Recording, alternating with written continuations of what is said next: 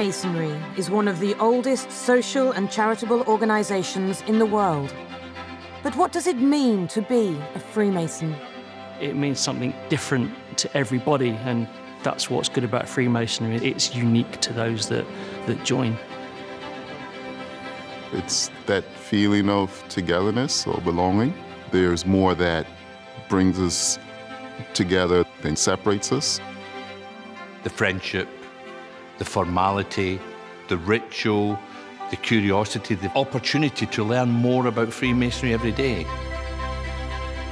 You learn to be tolerant and, and accept uh, all others uh, as being your brothers. It offers an ability to do a lot of public good.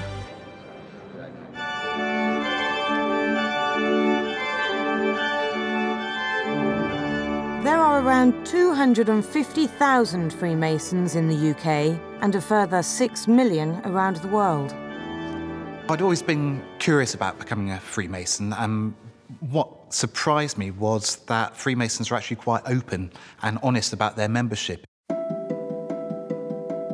I went in and it's been an absolutely fantastic journey ever since.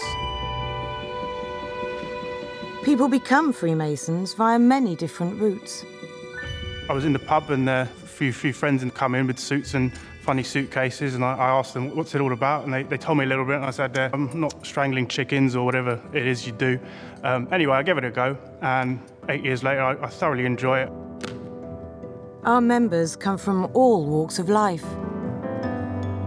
We're from so many different backgrounds, from bus drivers and tradesmen to actuaries and lawyers, accountants. You know, I'm really proud of that.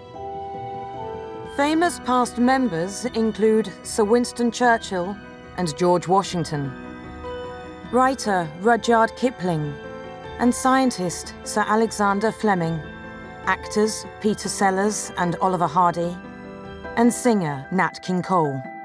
I went into it with uh, an open mind, um, and I, I'm glad I did because I've thoroughly enjoyed the experience ever since.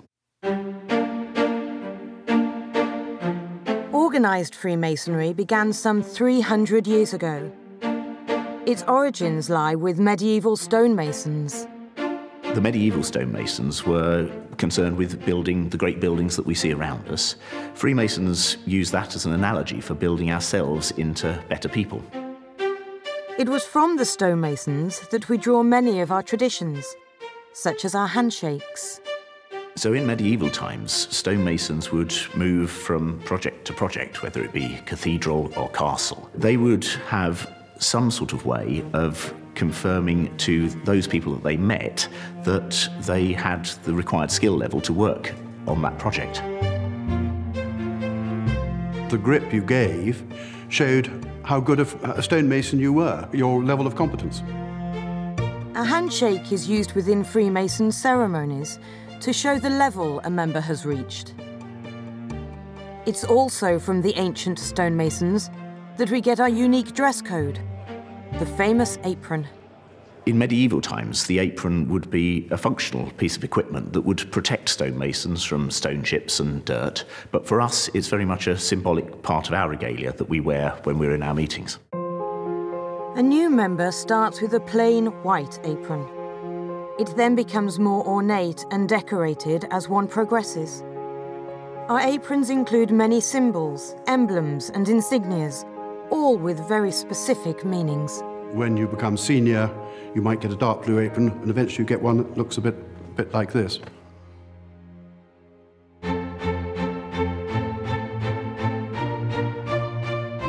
Drawing on our connections with the medieval stonemasons, the teachings of Freemasonry are enshrouded in building terminology. All of Freemasonry is about building something. It's about building a, a building, but actually it's really about building a person. It's about building a person's moral standing. We use symbolic tools to teach our members how to lead productive lives that benefit their communities. There's the plumb rule. A plumb rule is about one's demeanour being, being straight and upright. The square and the level. So phrases like on the square or on the level means treating people equally and decently. And the compass. Compass is an instrument which draws a circle or an arc or a line. And to us, that line is something that you shouldn't cross. You don't step over into bad behaviour. You try and keep yourself controlled and behaving as you should.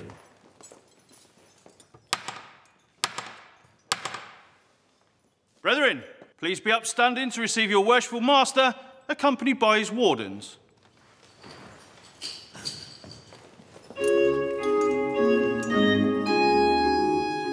Freemasons come together as lodges.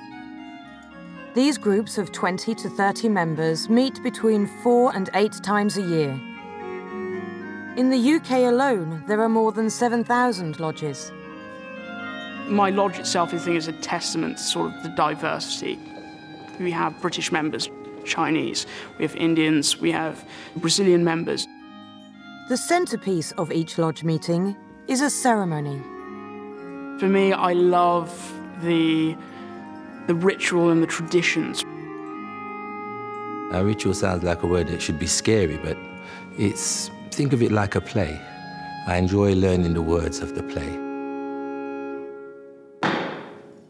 When lodge ceremonies are conducted, we learn uh, a number of things um, that are very useful to life. Um, how we should behave ourselves in society, how we treat others. The ceremonies teach members about our symbolism and help them learn more about what Freemasonry is and what it stands for. My worthy brother, I present to you an explanation of the first degree tracing board. Every day I'm finding out something new. We always try to make a daily advancement in our Masonic knowledge. Freemasonry provides a structure of support to help members make positive contributions to their community and to society. There's an awful lot of people who are searching for something more in their lives.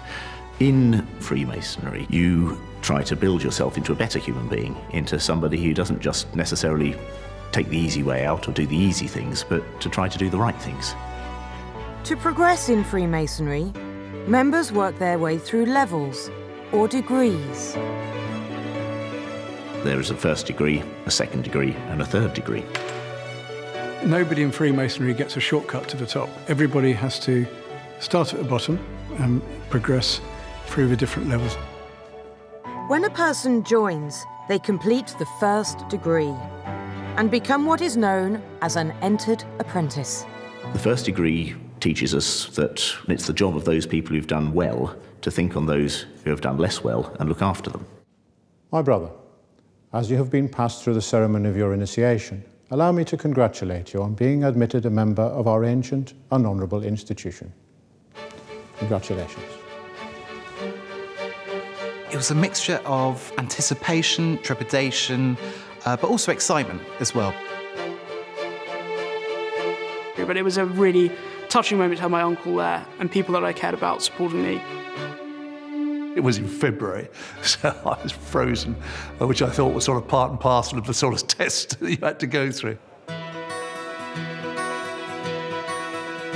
Freemasons live by four key principles integrity, friendship, respect, and charity.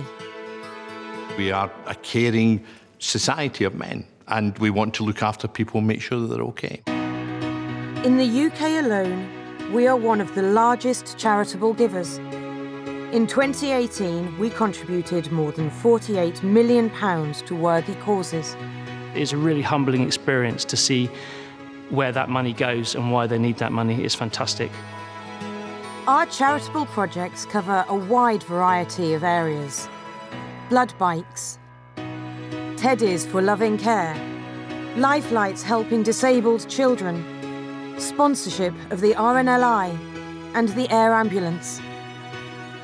In the UK, members also give an estimated 5 million hours of unpaid voluntary service every year.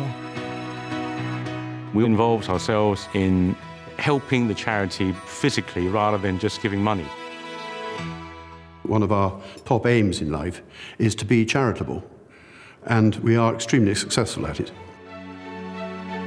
Freemasonry may be centuries old, but it's still incredibly relevant to people's lives today.